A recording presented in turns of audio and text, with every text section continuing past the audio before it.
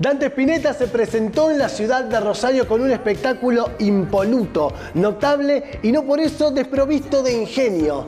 ¿Qué es lo que quiero decir? Que siempre en los recitales de Dante Spinetta ocurre algo impredecible. Ahí puedo encontrar un punto de contacto con lo que hacía su papá. Spinetta, si bien su estilo es muy diferente y brilla con luz propia prácticamente desde la concepción, desmitificando eso, deconstruyendo algo que atrapa a muchos artistas, que es terminar siendo el hijo de. Dante Spinetta es precisamente todo lo contrario. Podríamos decir que Luis Alberto terminó siendo el padre de. Y si hay un punto de contacto ahí es que los conciertos son esto que menciono, de lo impredecible, es decir, bon voyage, buen viaje. No está pensado desde el concepto de vamos a elegir los temas que el público quiere escuchar sí o sí. Vamos a cantar 10 hits, 15 hits, alguna que otra canción y listo. De ninguna manera. La idea es proponer, la idea es invitar al público a ese viaje, a sumergirse en esa atmósfera sonora con unos músicos de primer nivel donde todos se lucen, donde todos los instrumentos se destacan al unísono y cada uno por separado. Hay que destacar también la generosidad de Dante Spinetta y sobre todo cómo mantiene esa voz, tanto en la potencia para rapear como en la sutileza, en lo sublime de lograr esos agudos tan seductores.